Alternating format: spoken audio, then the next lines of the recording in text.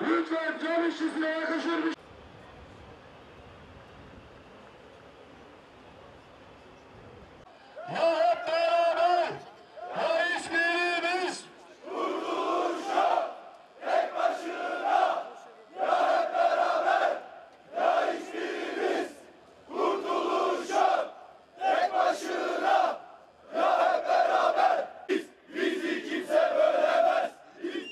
Grev, grevimizin 8. gününde AKP hükümeti tarafından genel sağlığı ve milli güvenliği bozucu nitelikte görülerek grevimiz ertelendi.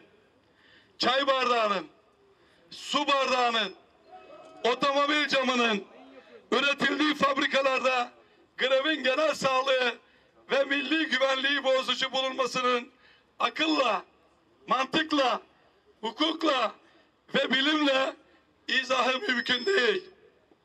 Hükümet, Türkiye'nin taraf olduğu uluslararası sözleşmeleri, anayasayı yok sayarak cam işçilerin grev hakkına darbe vurdu. 12 Eylül'den miras kalan ve 2012'de sendikalar ve toplu sözleşme kanunu yenilerken korunan grev erteleme mekanizmasıyla grev hakkımızı yasakladı. 2003 ve 2004'te yaptığı gibi grev özgürlüğümüzü ortadan kaldırdı.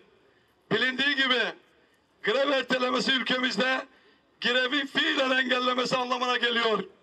Grevi yasaklama kararı hükümetin işçi hakları karşısında ne kadar keyfi, hukuk tanımaz ve hasmane tutum içinde olduğunun açık bir kanıtıdır. Daha önce örneğini defalarca gördüğümüz AKP hükümetinin hak, hukuk gibi bir derdi yoktur.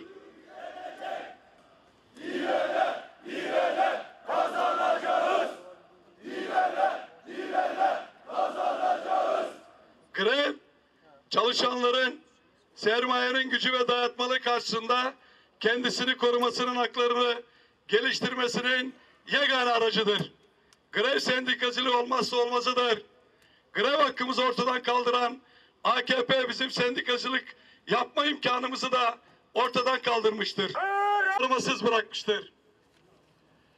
İşçilerin örgütlenme ve hak arama yollarını kapatıyor. Yürekten teşekkür ediyorum.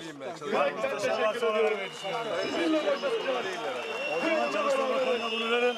Sendikaları onlar yönetsinler. Grev olmayan bir yerde sendika olmaz. Buyurun. Buyurun. Teşekkür ederim. Sağlıklı kalın. Sağlıklı kalın. Sağlıklı kalın. Baş koyduk, ölmek var, dönmek yok.